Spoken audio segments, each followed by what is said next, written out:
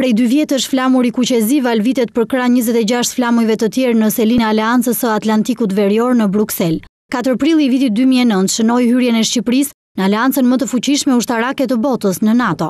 Që prej firmosjes së traktatit më katër prill, pas dorëzimit të dokumentacionit përkatës në Departamentin Amerikan të Shtetit, Shqipëria është vend me të drejta të plota në aleancë. Vendi ynë mori ftesën për anëtarësim në vitin dy mijë e tetë në Samitin e Bukureshtit, ndërsa u ul si vend anëtar me të drejta të plota në takimin e përfaqësuesve të lartë të NATO-s në Samitin e Strasburg-Këlnit të katër prillit dy mijë e nëntë. Mirëpresim Shqipërinë në NATO, u shpreh presidenti amerikan Obama, përpara se t'i dorëzonte ftesën e anëtarësimit presidentit Topi.